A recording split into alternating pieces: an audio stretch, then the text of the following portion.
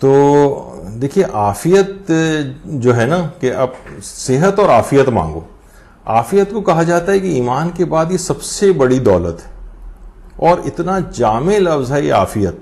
इतना जाम लफ्ज़ है कि हर किस्म की, यानी आफियत की तारीफ़ क्या है? यानी हर किस्म की ज़ाहरी और बातनी, दुनियावी और उखरवी आफातों और बलाओं और मुसीबतों से पनाह और दीनों दुनिया की तमाम भलाइयों की तलब का नाम आफियत यानी दुनिया और आखरत की तमाम मुश्किल और परेशानियों से निजात और दुनिया और आखरत की तमाम भलाइयों की तलब। ये आफियत के अंदर, यानी हर कुछ आफियत, इतना जाम कलमा है कि हर चीज़ उसके अंदर आ जाती।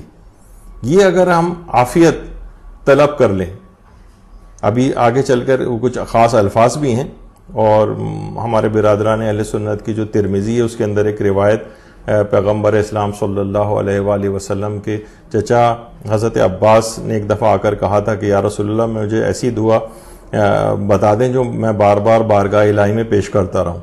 तो आपने फरमाया कि अल्लाह से आप दुनिया और आखरत की आफियत का सवाल करें।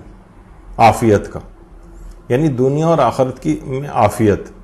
यानी हर किस्म की बलाओं मुसीबतों से निजात और हर किस्म की सदतों को हसूल या आफियत के अंदर शामिल है। देखिए, लोग आमतौर पर ये बात समझते हैं कि देखिए, आफियत शायद के मायने ये हों कि हमारे पास दौलत ज़्यादा हो जाए, हमारे पास मनसब और अहदा कोई बहुत अच्छा आ जाए, हमारे पास ताकत वगैरह काफ़ी हो जाए। तो देखिए, मुमकिन है बाज़ात ये सब चीज़ें भी मौजूद होंगे मगर वो आफियत के साइबान से निकल चुका हो। बहुत मुमकिन। है मुमकिन है कि आफियत एक गरीब या मुतवसत घर के मकीनों को नसीब हो। आपस में मोहब्बत से रहते हों, लड़ाई झगड़े उनके ना होते हों, आपस में एक दूसरे का एहतराम करते हों, बच्चे फर्मा बरदार हों, सुकून इतमान के साथ ज़िंदगी गुजर रही। और दूसरी तरफ़ बहुत मुमकिन है कि किसी के पास बहुत पैसा व दौलत हो, जनाब करोड़पति और अरबपति भी हो, जाहो, मनसब भी उसके पास बहुत हो, लेकिन आफियत उसके पास ना हो। आपस में लड़ाई झगड़े चल रहे हैं, फसादात चल रहे हैं, इख्तलाफात चल रहे हैं, औलाद नाफरमान हुई जा रही है, आपस में नफ़रतें हो रही हैं, घर जहन्नुम का नमूना बना हुआ है। लिहाजा आफियत तलब करनी चाहिए। बजाय इसके कि हम दौलत, मनसब, ताकत ये अलग से मांग रहे हो, मुमकिन है चीज़ें भी हासिल हो जाए, तब भी आफियत ना मिल सके आपको। लेकिन अगर आफियत की, का सवाल आपने कर लिया, वो आपको मिल गई तो सारी चीज़ें उसके अंदर खुद ब खुद आ जाएँगी। देखिए, हमारे इमाम अली रज़ा सलाम से एक रिवायत है। फरमाते हैं कि ऐसा वक्त आएगा जब आफियत के दस जुज होंगे, उनमें से नौ जुज लोगों से किनारा कशी में और एक जुज खामोशी में होगा।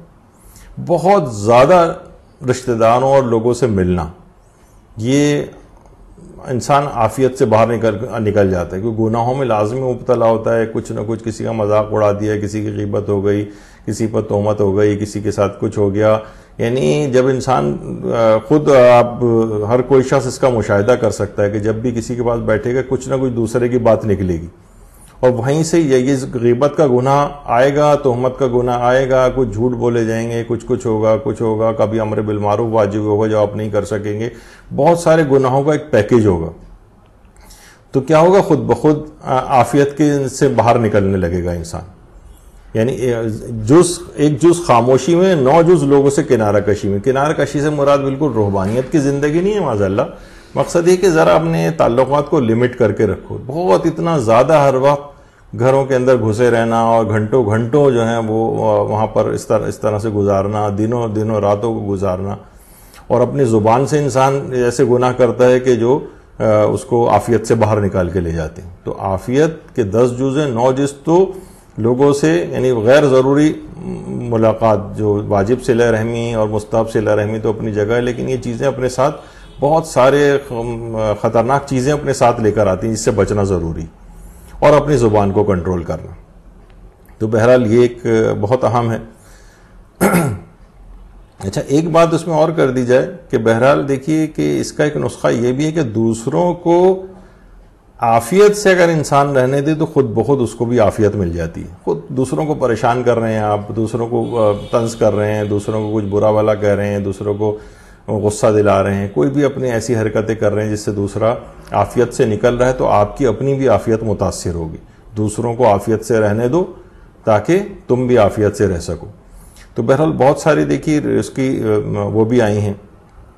दुआएँ भी। हैं अल्लाह सलुकल अफ़वा वल आफ़ियता वल मुआफ़ात फ़िद दुनिया वल आखिरा।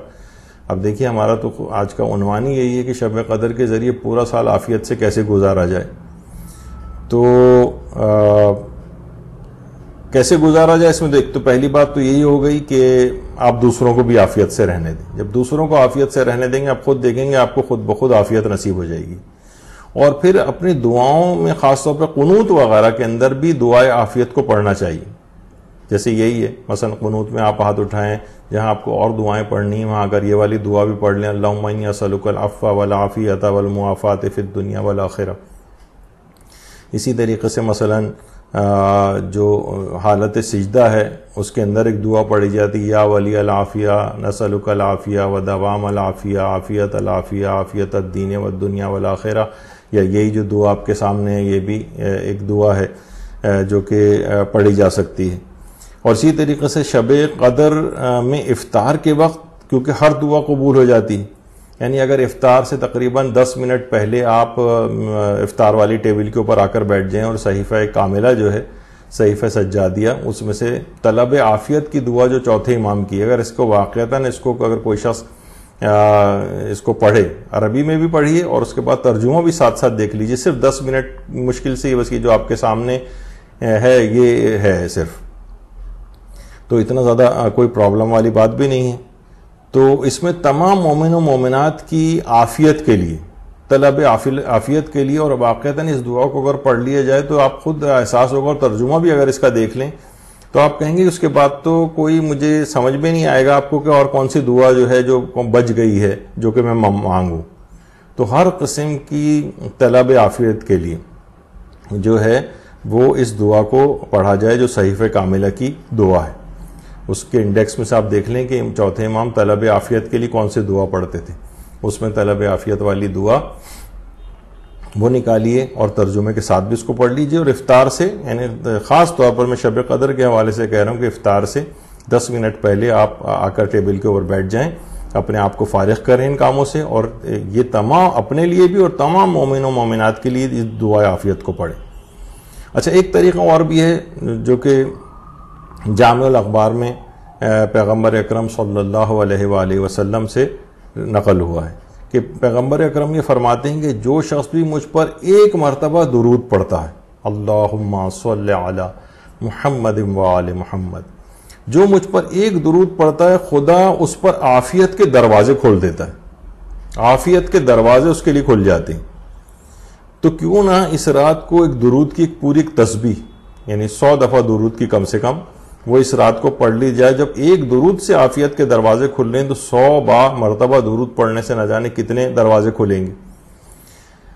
देखिए बाज़ात ये होता है कि देखिए, आफियत हमको मिलती भी है और अपने कुछ गुना ऐसे होते हैं कि हमारी आफियत से हम बाहर भी आ जाते हैं। आफियत मिलती है, फिर आफियत ख़त्म हो जाती है, फिर मुसीबतों में मुबतला हो जाते हैं। क्या ऐसा किया जाए कि आफियत का बीमा हो जाए परमानेंट हो जाए आफियत। यानी कभी आफियत मिल रही है, कभी ख़त्म हो रही है तो आफियत का बीमा कर लिया जाए। देखिए बिहारुल अनवार में मासूम से एक रिवायत है कि जो चाहता है कि उसकी आफियत तूलानी हो जाए तो फल तकिल्ला उसे चाहिए कि वो तकवा, अल्लाह का तकवा अख्तियार करे, यानी गुनाहों से परहेज करे। गुनाहों से परहेज। देखिए, हज़रत हमारे पाँचवें इमाम इमाम मोहम्मद बाकर सलाम फरमाते हैं कि असूल काफ़ी की जिल्द दो की रिवायत है कि ऐसा नहीं है कि किसी साल की बारिश किसी और साल से कम हो, लेकिन अल्लाह जहाँ चाहता है बरसाता है। जब कोई कौम गुनाहों का इरतकब करती है तो अल्लाह उस मुकद्दर की हुई बारिश को उस साल में उनसे हटाकर दूसरे लोगों की तरफ़ और बयाबान और दरियाओं और पहाड़ों की तरफ़ मोड़ देता है। यानी आपके अपने गुना ऐसे हैं जो आपकी सेहत, आफियत और बरकत को दूर ले जाते हैं आपसे। यानी आज आपकी आफियत ख़त्म हो जाती है। तो ये फरमाया गया कि फलियत तकिल्ला तकवा, जितना इख्तियार करोगे, जितना अपने आप को गुनाहों से बचाओगे, उतना तुम्हारे पास आफियत रहेगी। आफियत का बीमा अगर करवाना है तो उसका एक तरीका यह कि इंसान अपने आप को गुनाहों से बचाए। उतनी ही आफियत उसकी, जितना गुनाहों से बचेगा, उतनी ही आफियत तूलानी तर हो जाएगी। जितना तकवा अख्तियार करेगा, उतनी ही आफियत तूलानी होगी। और जितना गुना ज़्यादा करेगा, उतनी आफियत कम होती जाएगी। जब ज़िंदगी में परेशानियाँ और आप देखते हैं कितनी ज़्यादा हमारी ज़िंदगी के अंदर आ जाती हैं। तो जो ये गुनाह हैं, असल में ये मुसीबतों को खींचते हैं। जितने भी गुनाह हैं। जब भी जो वो है दुआ कुमैल अल्लाह मकफिर लिया जुनूबलती तंजिलबला परवरदिगार उन तमाम गुनाहों को माफ़ कर दे जो बलाएँ लेकर आती यानी आफियत ख़त्म हो रही है ना, परेशानियाँ आ रही हैं, बीमारियाँ, उलझने, आफात हादसा मुकदमात, झगड़े मुश्किल घरेलू नाचाकियाँ, नहूसतें ये तमाम क्या चीज़ें, ये मुसलसल आसमान से उसके ऊपर नाजिल हो रही परवरदिगार उन तमाम गुनाहों को माफ़ कर दे जो बलाओं को लेकर आती यानी इंसान की आफियत उस वक्त ख़त्म हो जाती। तो सबसे पहली और अहम बात यह है कि इंसान तकवा इख्तियार करे ताकि उसकी आफियत तोलानी तर हो। अच्छा एक और भी है पैगंबर अक्रम फरमाते हैं, सल्लल्लाहु वसल्लम, तफसीर बुरहान की रिवायत है, जिल्द नंबर आठ में, जो शख्स भी सूर अलम नशरा की तिलावत करेगा, अल्लाह उसे यकीन और आफियत अता फरमाएगा। तो रोज़ाना अगर, यानी परमानेंटली अगर हम सूर अलम नशरा को अपनी उसके अंदर रखें प्रोग्राम्स के अंदर तो अल्लाह के ऊपर उसका यकीन भी बढ़ेगा और परवरदिगार से मुस्तकिल आफियत नसीब फरमाएगा। और बहुत सारी रिवायतों के उसमें दुआओं के अंदर ये बात भी आई अल्लाहसलकल आफिया व शुक्र व शुक्र अल आफिया। अच्छा अब देखिए, यानी हम क्या ज़िक्र कर रहे हैं कि किस तरीके से अपनी उस आफियत को हम बीमा कर करा लें एक तो ये होगा कि तकवा इलाही इख्तियार करें।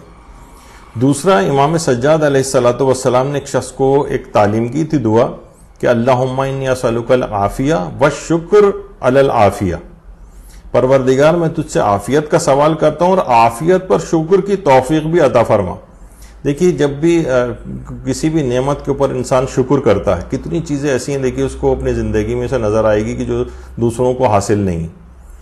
अपनी ज़िंदगी पे नेमतों को अगर इंसान गौर करे तो किस कदर?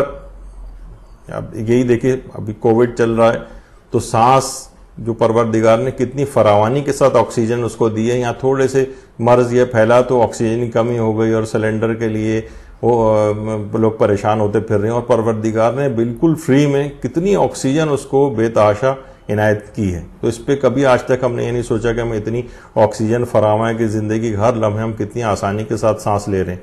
और जहाँ एक बीमारी के अंदर मुबतला हुए झटका हुआ लगाया गया हमको तो फिर हमें एहसास हुआ कि अरे, परवरदिगार की इस नेमत से तो हम बिल्कुल ही गाफिल थे कि जो हमें इतनी आसानी और फरावानी के साथ दस्तियाब थी। तो अपनी आफियत के ऊपर शुक्र भी तो करें। यानी उन नेमतों का एहसास करें, आफियत, जो आफियत आपको हासिल है, ऑक्सीजन सांस आ रहा है अभी जो मरीज़ बेचारे इसके अंदर मुबतला हैं और कितनी मुश्किल के साथ आ, मास्क जो है वो लगाना लगा रहे हैं और फिर ज़ाहिर है कि ये वाली एहतियातें भी करना ज़रूरी हैं आफियत के अंदर तो ये भी चीज़ शामिल है ना कि वेंटिलेटर का जो मास्क जो है वो लगाने से कहीं बेहतर है कि ये आम कपड़े वाला मास्क या जो आम डिस्पोजेबल मास्क है यही कम से कम लगा लें। तो बहरहाल अपनी जो आफियत का बीमा अगर आपको करना है तो उसमें क्या है कि इसका शुक्र अदा करें, जो नेमतें आपको अभी हासिल हैं, जो आफियत आपको अभी हासिल है, उसका शुक्र अदा करें। अल्लाह असलकल आफिया व शुक्र अल आफिया। यानी आफियत पर शुक्र की तोफ़ी भी जो है वो इनायत फरमा। शुक्र, देखिए, हमेशा नेमतों में इजाफा होता है शुक्र करने से। लाइन शकर तुम लाजीदन्नकुम। शुक्र से नेमतों में हमेशा इजाफा होगा। तो शब कदर में आफियत पर अगर शुक्र होगा तो पूरे साल का बीमा हो जाएगा। शब कदर में आफियत का शुक्र अदा करें। और कम से कम अगर कोशिश करें कि ये जो जुमला है, अल्हम्दुलिल्लाह नमतिन यानी जब भी इंसान की अपनी नेमतों, ये अक्सर व बेशतर आपको पढ़ना चाहिए। ये अक्सर व बेशतर हमको पढ़ना चाहिए कि परवरदिगार तेरी तमाम नेमतों पर शुक्र और हम जो है तेरी बजा लाता हूँ। अल्हम्दुलिल्लाह कुल्ल नमतिन। कहा जाता है कि अगर नेमतों का शुक्र करना है तो ये वाला जुमला इसको पढ़ा जाए। और इंसान अगर किसी उसके अंदर गिरफ़्तार हो जाता है आ, किसी परेशानी में तो उस वक्त भी वो कहे अल्हम्दुलिल्लाह अला कुल्ल हालिन। हर हाल में तेरा तेरी हमद करता हूँ। तो बहरहाल नेमतों की इतनी फरावानी कि अल्हम्दुलिल्लाह अला कुल्ल नेमतिन इंसान पढ़े और ताकि उस तमाम आफियत जो उसको अभी तक हासिल रही हैं, उसका शुक्र हो जाए तो इसका परमानेंट बीमा इसका हो जाएगा और बल्कि उसकी आफियत में लाइन शकर तुम लाजीदानकुम शुक्र करने से उसमें ज़्यादती हो जाएगी। और इसी तरह से जैसे अभी आपने सुना कि अगर कोई परेशानी में मुबतला है तो वह अल्हम्दुलिल्लाह अला कुल्ल हालिन कहे। देखिए, अगर सिर्फ़ अल्हम्दुलिल्लाह की भी एक तस्वीर पढ़ ले तो वो भी बहुत अच्छा है। ये भी उस आफियत का एक शुक्र करार पाएगा। यानी इस नीयत से कि परवरदिगार जो मुझे आफियत हासिल रही है तो ये पूरे साल आपको इसी तरह से आफियत हासिल रहेगी।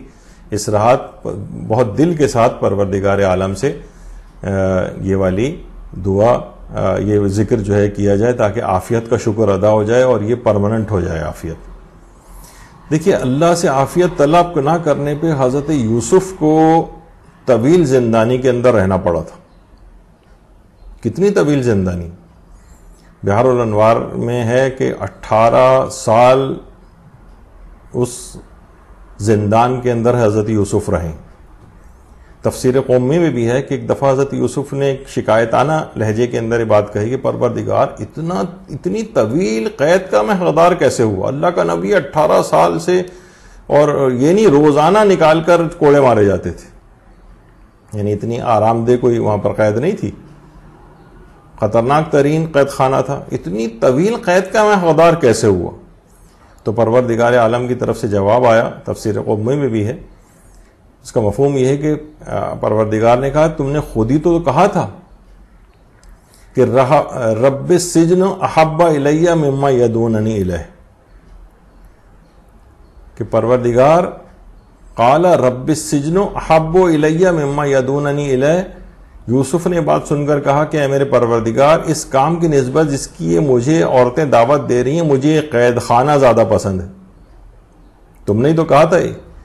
तुमने ये क्यों नहीं कहा था कि अल आफियत अहब्बो इलैया मम्मा यदूननी इलह?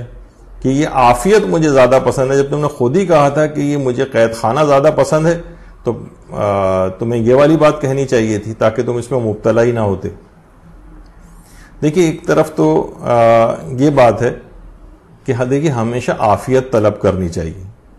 मुँह से ऐसे अल्फाज भी निकालना नहीं चाहिए कि जो कि आमतौर पे होता है ना कि मसलन औलाद को वालदेन अक्सर कम वक़्त और कम वक्त और बदनसीब और फलां, इस तरह के जो मुख्तलिफ़ जो जुमले कहते हैं।